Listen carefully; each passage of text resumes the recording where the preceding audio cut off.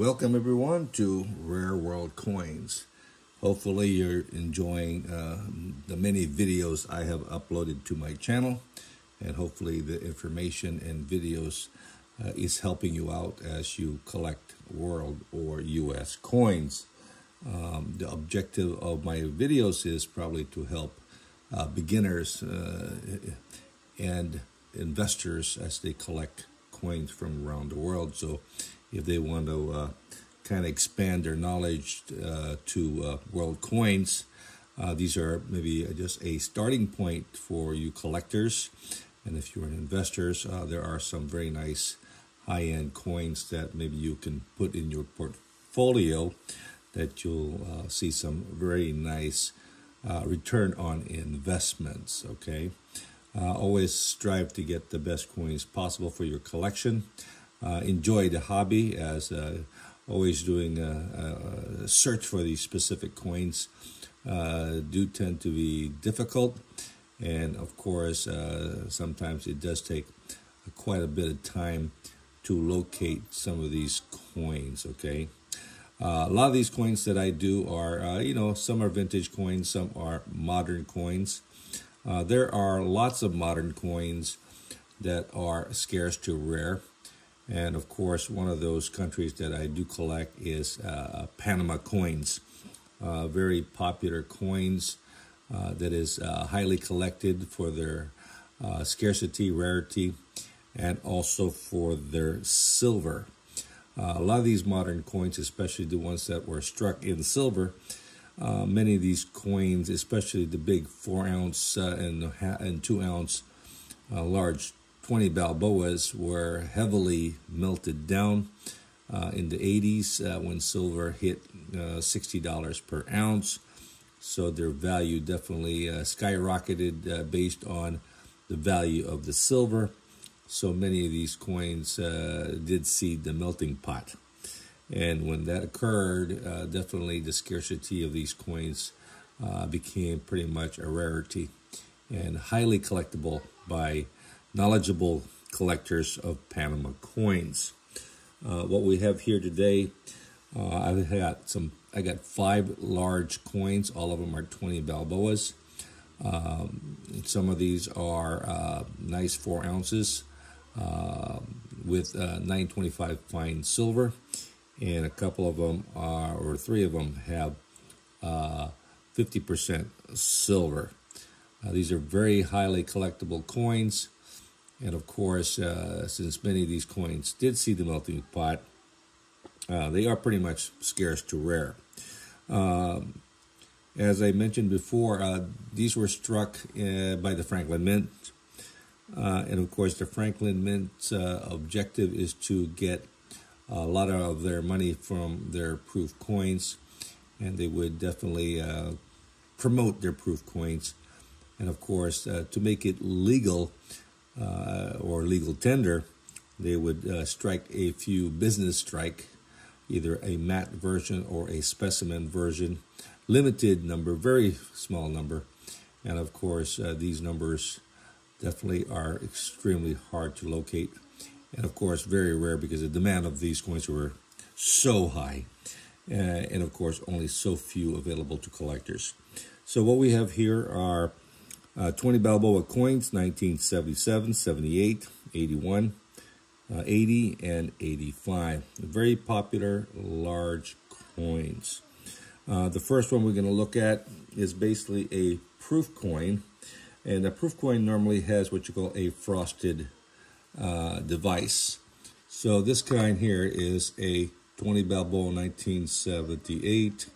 And of course, the, the frosted device definitely is noted here on uh, the image uh, holding the flag and the sword.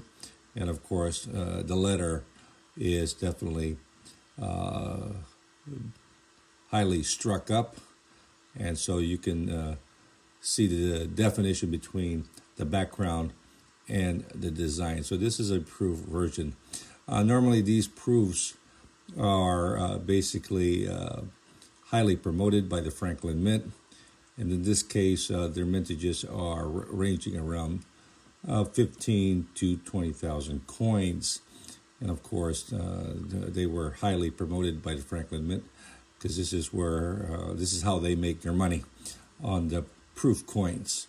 And of course, these are very large coins, uh, four ounce in weight uh, of silver.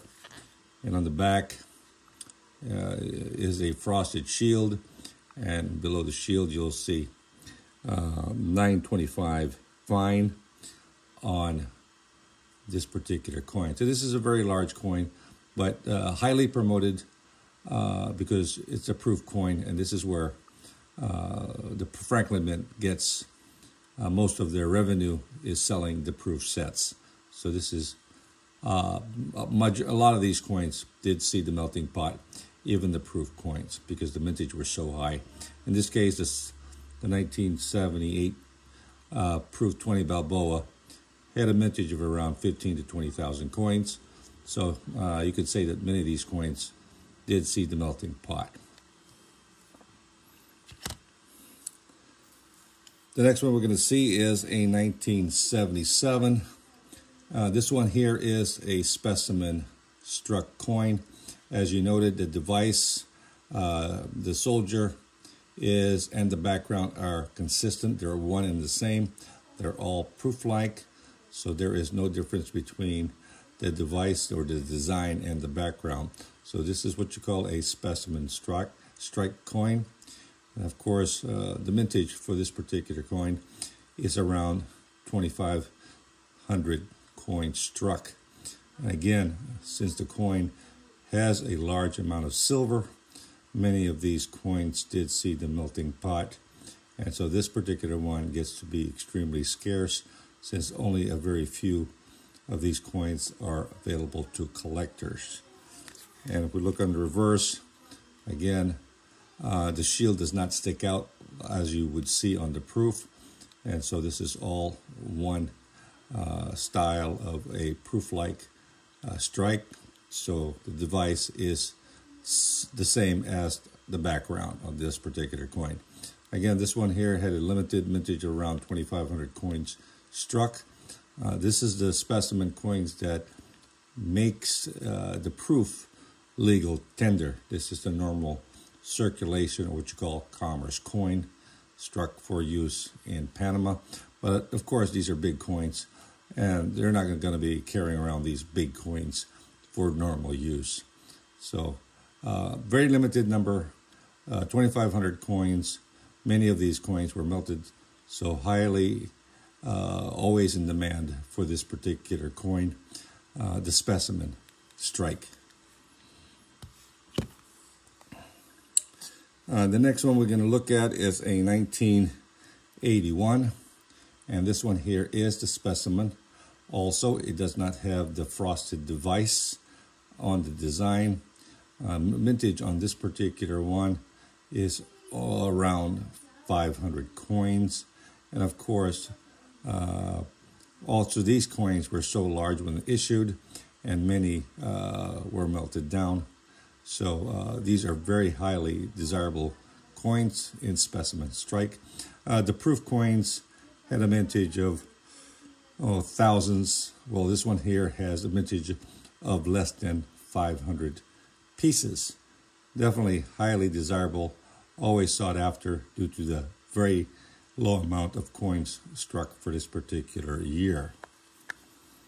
In the reverse, very consistent. The device and the background are all in specimen strike. Uh, it just is not the proof version. Uh, the proof version uh, is uh, definitely easily attainable.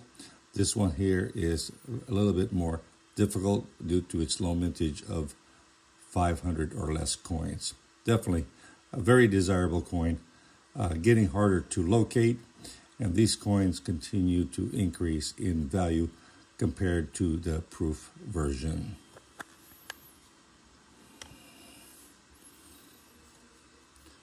Uh, next coin we have is a proof.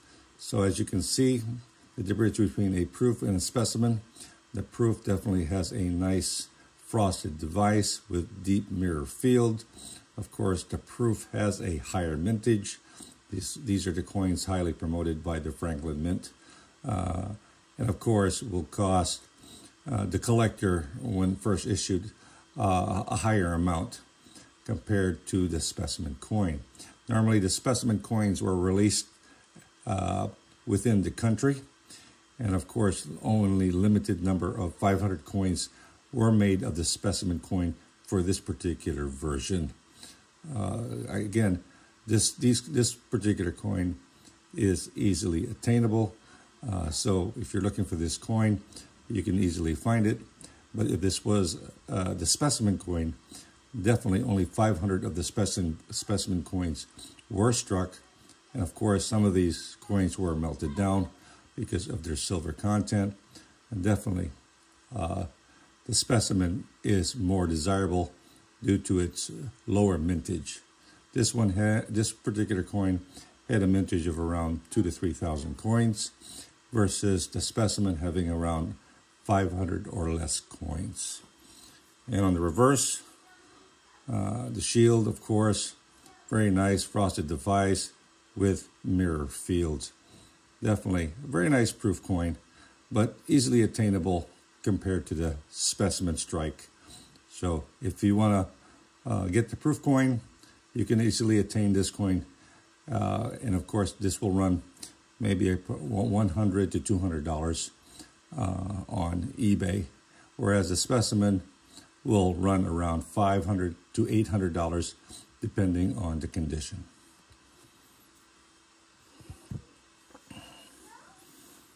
Last we have is the 1985 20 Balboa. Uh, this one here is a beautiful coin. Uh, this one here, uh, as recorded, has a mintage of around 1,400 coins. And of course, as of yet, no specimen coins were struck for this particular year.